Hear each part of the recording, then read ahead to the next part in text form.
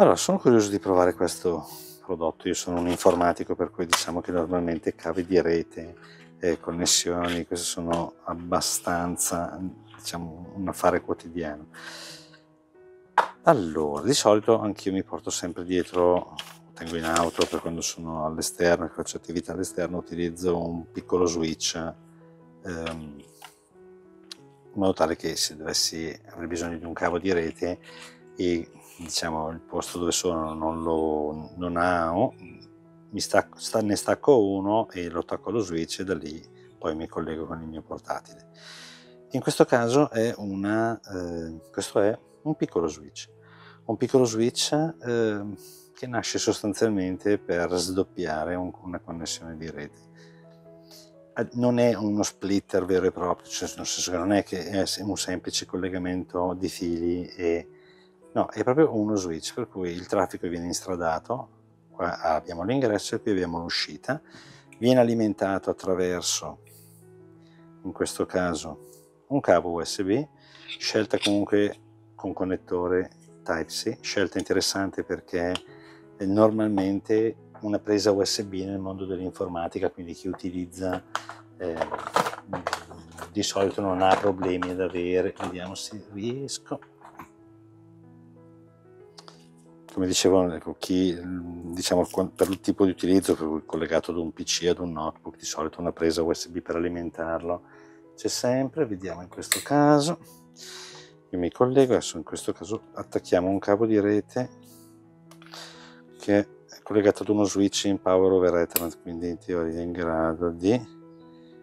no, lo switch non ha un'alimentazione tramite, non è in grado di alimentarsi tramite power over ethernet, ma richiede un collegamento ad un alimentatore USB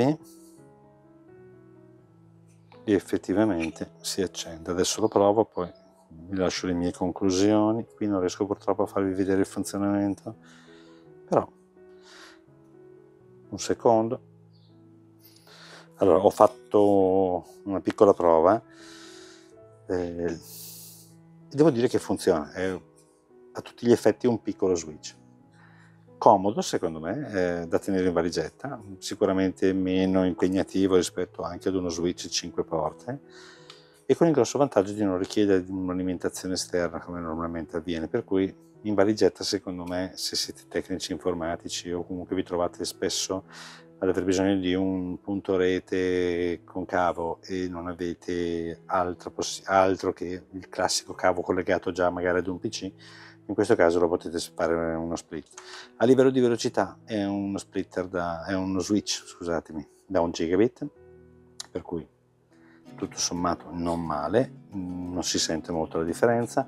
Certo, il collegamento, nel caso in cui vengano saturate le bande da entrambe le parti, è sempre un gigabit, per cui è un gigabit diviso in questo caso le due postazioni, però normalmente in un utilizzo classico di rete eh, anche aziendale la, la, banda non viene sempre saturata da ogni singolo PC, anzi, normalmente è il contrario, per cui potrebbe essere una buona alternativa. Vi lascio comunque il link in descrizione. Ehm, il prodotto lo trovate su Amazon, è un prodotto, adesso non ricordo il prezzo, ma non è un prodotto particolarmente costoso, forse sotto, addirittura sotto i 20 euro. E niente, vi invito a lasciare un like al video se vi è piaciuto vi è stato utile e ad iscrivervi al canale per diciamo, restare aggiornati sulle novità. Eh, per voi è gratuito, ma per, per, noi è sicuramente un bel segno e diciamo, ci permette di andare avanti. Grazie e alla prossima!